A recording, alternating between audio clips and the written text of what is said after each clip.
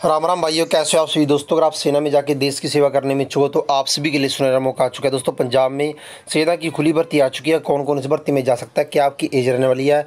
और कौन से कैटेगरी में आपको पोस्ट मिलने वाली है? अगर आप यहाँ पूरी जानकारी जानना चाहते हो तो वीडियो को पूरा अंत तो देखें। दोस्तों, चैनल पर नए हो तो चैनल को सब्सक्राइब करना और बेल लाइकन को प्रेस करना। अगर आपने वीडियो को लाइक किया तो वीडियो को लाइक करें। इसी के साथ अपना वीडियो शुरू करते हैं। दोस्तों, सबसे पहले हम बात करते हैं आपकी पोस्ट की, जो आपको पोस्ट मिलने वाली है, जनरल ड्यूटी की और टेक्निकल की, ठीक है? और आपको क्लर्क की यहाँ पे स्टोर कीपर की ये काफ़ी सारी आपको पोस्ट यहाँ पे देखने को मिलने वाली है। ठीक है? सबसे पहले बात करते हैं आपकी एज की यहाँ पे।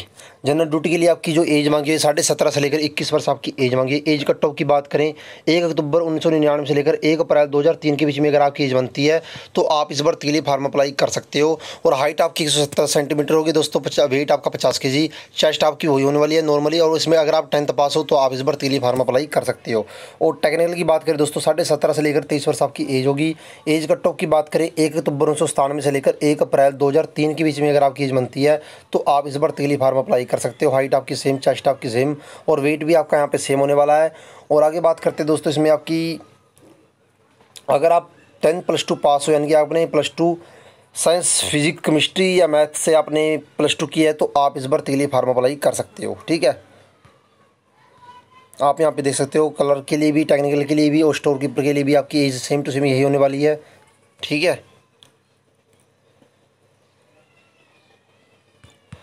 और आगे बात करते हैं, किस डिस्ट्रिक्ट की भर्ती? दोस्तों, आप सभी जो बात करें, यह पंजाब के पटियाला में आप सभी भर्ती होने वाली है। अगर आप पटियाला के फतेहगढ़ साहिब, बरनाला मानसा, संगरूर, पटियाला, इन जिलों से बिलोंग करते तो आप इस भर्ती के लिए फार्म अप्लाई कर सकते हो। एक अगस्त से लेकर तेरह अगस्त तक आप सभी भर्ती रिलीज़ चलने वाली है, और इस भर्ती के लिए आप सभी ने ऑनलाइन आवेदन की बात करें दो जून से लेकर सोलह जुलाई तक आप सभी इस भर्ती के लिए फार्म अप्लाई कर सकते हो। जो आपके एडमिट कार्ड जारी होगी दोस्तों, वो सत्रह जुलाई के बाद आप सभी की एडमिट कार्ड जारी कर दीजिएँगे आप ज्वाइन इंडियन आर्मी वेबसाइट पर जाकर अपने एडमिट कार्ड डाउनलोड कर पाओगे, ठीक है? ये आप सभी भर्ती रैली होने वाली है दोस्तों, आप सभी अगर आप इस भर्ती में जाने में इंटरेस्टेड है तो आप सभी इस भर्ती के लिए फार्म अप्लाई कर सकते हो। आप सभी की ज्वाइन इंडियन आर्मी वेबसाइट पर आप सभी की इस भर्ती के लिए फार्म अप्लाई किए जा रहे हैं। बस आज की वीडियो में दोस्तों इतना ही आशा करूँगा कि आपको वीडियो अच्छी लगी। अगर आपको वीडियो अच्छी लगी तो वीडियो को लाइक शेयर करना मत भूलना।